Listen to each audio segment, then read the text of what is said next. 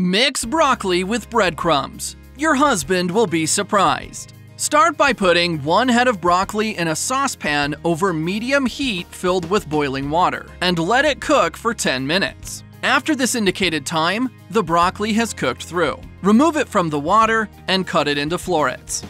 Next, transfer these florets to a large bowl. And using a fork, mash them well until it forms a puree.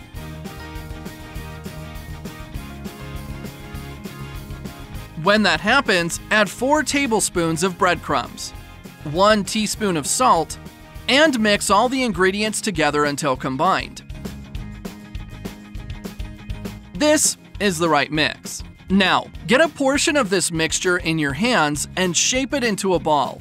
Next, open a hole in the center of the ball and fill it with 25 grams of cubed mozzarella cheese. Then, close it by shaping it into a burger patty. Repeat this process with all the broccoli mixture.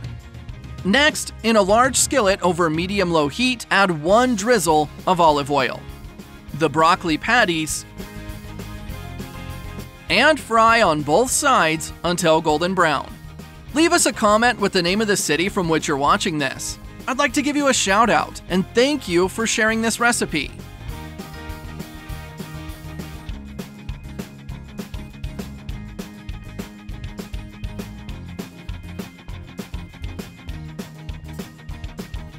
This is the right point. If you've made it here, that means you're enjoying our recipe. So click the share button and share this video with all your friends. It won't cost you anything, but for us, it will make all the difference.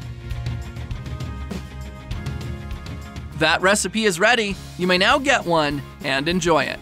I really hope you liked this recipe. Now I'll head back to the comments section and will continue to answer everyone who left the name of their city. And I'll also thank you for sharing this recipe. See you next recipe. Bye!